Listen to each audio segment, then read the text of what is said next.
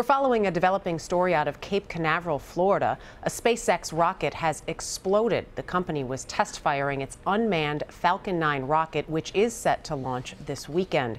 CBS News senior space consultant Bill Harwood is with me now via Skype. Bill, what can you tell us? Well, apparently this explosion happened before the engines were fired. You know, SpaceX carries their rockets to the pad. They test fire the engines before every flight. And as you know, they were going to launch this rocket on Saturday.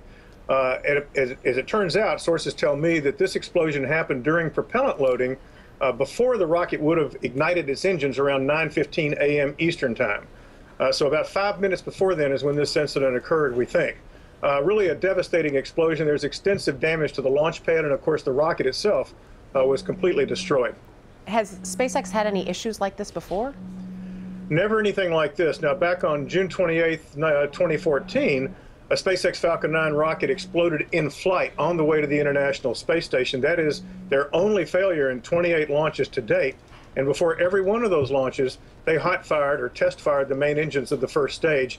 Never been an incident like this. They've had shutoffs, like premature shutdowns of engines before, things like that, uh, but never anything like this. I know I'm asking you to speculate, but any idea then that what may have caused this?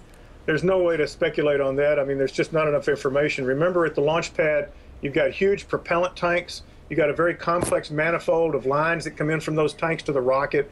You know, a lot of electrical systems. You know, a spark and a leak, whether it's on the ground side or on the rocket itself, anything like that could trigger a, an explosion. We don't know yet uh, whether this originated in the rocket or in one of the launch pad support systems. But you know, reports are the rocket blew up, and uh, folks reported the tremendous explosion.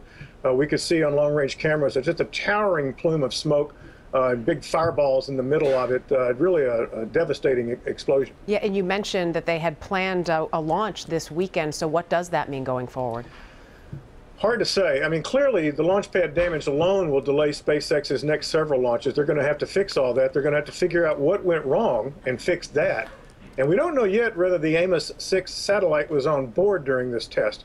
Sometimes this payload is on board the rocket for that hot fire test, sometimes it's not.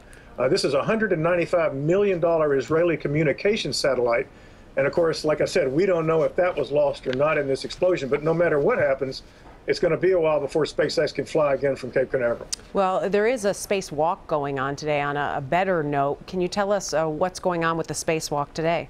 Well, it's been hard to follow. I have to tell you, we're trying to figure out what's going on out at the launch pad uh, with SpaceX.